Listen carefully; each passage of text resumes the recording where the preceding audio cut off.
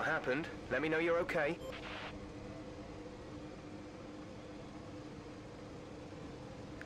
Ow.